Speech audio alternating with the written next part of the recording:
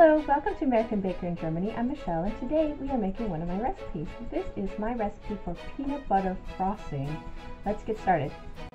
Only four ingredients today. We need half a cup or 125 grams of butter or margarine, half a cup or 120 grams of peanut butter, 3 to 4 cups or 500 grams of powdered sugar, 4 to 6 tablespoons of milk or almond milk, First add your butter to a large mixing bowl and cream it until light and fluffy.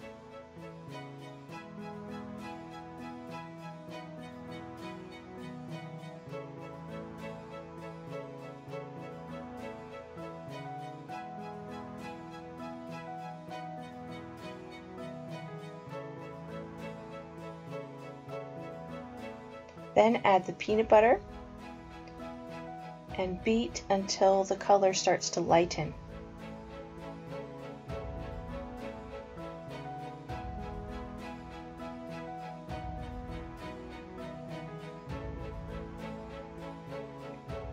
Then add the powdered sugar one half at a time.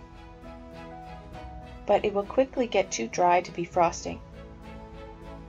So I add the milk one to two tablespoons at a time until you get the consistency you're looking for.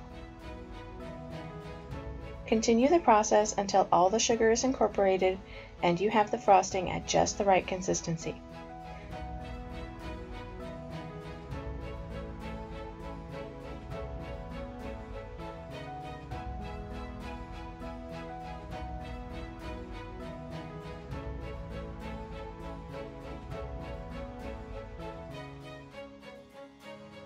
Don't forget to scrape the sides of the bowl.